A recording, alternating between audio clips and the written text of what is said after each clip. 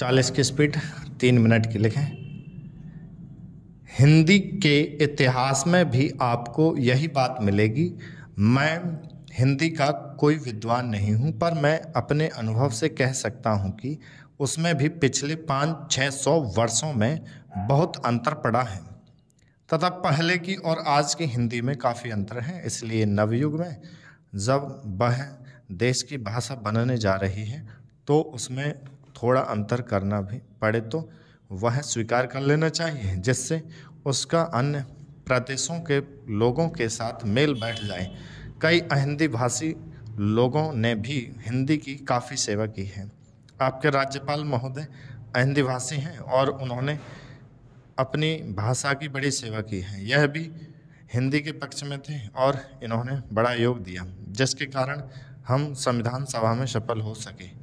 इनका भी यही विचार है जो मेरा है। मैं चाहता हूँ कि इनको भी हिंदी की सेवा करने का अवसर दिया जाना चाहिए। उसका फल हिंदी के लिए और देश के लिए अच्छा ही होगा। मानपत्र में आपने संस्कृत के संबंध में कहा है। मैं चाहता हूँ कि हमारे देश में संस्कृत का अध्ययन आवश्यक है, क्योंकि देश की सभी भाषाओं का स्रोत वही भाषा है। संस्कृत से हमारा अटूट संबंध है। इसकी पढ़ाई लिखाई कम हो गई है। यह हमारे लिए दुख की बात है। मैं आशा करता हूँ कि इसकी उन्नति होगी।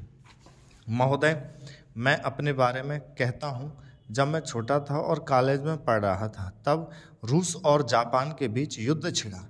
उस समय समाचार पत्रों में, जापान के संबंध में बहुत सी बातें छपा करती थीं।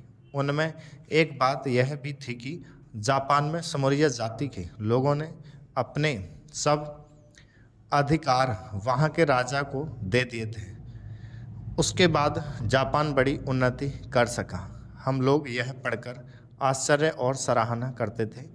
उससे बढ़कर हमारे यहाँ के लोगों ने स्वराज्य स्थापित होने के बाद एक दो वर्ष में एक उदाहरण उपस्थित करके दिखाया।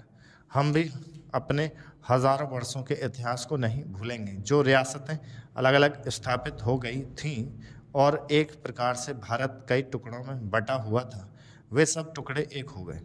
आज ब्रिटिश, भारत और देसी रियासतें मिलकर एक हो गई हैं। उसके बाद हमारे सामने यह प्रश्न आया कि भारत के लोग केवल स्वराज्य से ही सुखी नहीं हो सकते, उसको किसी न किसी प्रकार सुखी बनाना है। इस संबंध में सरकार ने अपनी ओर से प्रायः सभी राज्यों में जमींदारी और जागीरदारी उन्मूलन के कानून उपस्थित की और वे कानून पास हुए। प्रसन्नता की बात तो यह है कि स्टॉप। लग। गए